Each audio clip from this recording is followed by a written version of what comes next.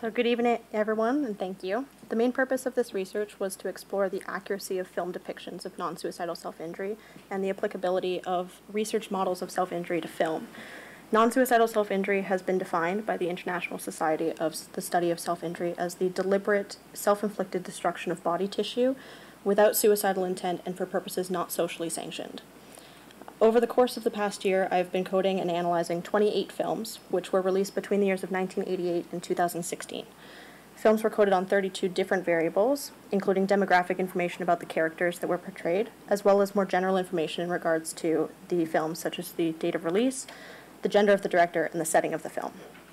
Wanting to apply a theoretical framework to my research, I applied the four-function model of self-injury, which was developed by Nock and Prinstein in 2004. This model categorizes the functions of self-injury by two dichotomous factors. The first, positive and negative, whereby sorry, whereby positive refers to the addition of favorable stimuli and negative refers to the removal of aversive stimuli. And the second, automatic or social, which refers to whether or not the function of the behavior is intrapersonal or interpersonal, respectively. Therefore, self-injurious behavior can be divided into the following four subgroups, which you can see on the slide beside me.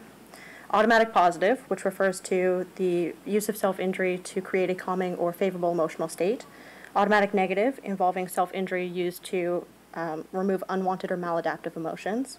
Social positive, which is self-injury used to create to get attention or um, access material goods from others, and social negative, which refers to self injury used to get out of social obligations and social responsibilities.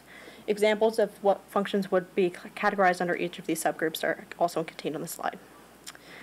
The accuracy of film portrayals of self injury was also analyzed through examining demographic criteria, such as race, age, and gender, and the proportion of characters that were considered violent or nonviolent towards others. Results indicated that film portrayals of non-suicidal self-injury are relatively accurate based on the four-function model, where the original results showed that the negative automatic subgroup was more endorsed than any other subgroup, followed by the positive automatic subgroup, and there was no clear difference between the two social subgroups.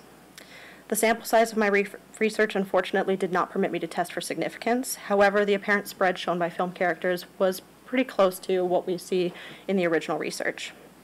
Surprisingly, as well, the demographic characterizations of self injury in film were quite accurate in terms of age and gender, based on the estimates of previous research. However, this was not always the case. Over time, trends in the data were found and showed more demographically accurate portrayals of self injury in more recent years. Furthermore, male characters appeared to be more likely to be portrayed as violent over female characters. Implications of this research were discussed in terms of the possibility for normalizing self injury to have both positive and negative effects on viewers, which include the increase in self, self sorry, help seeking behavior and the increase in stigma. Thank you.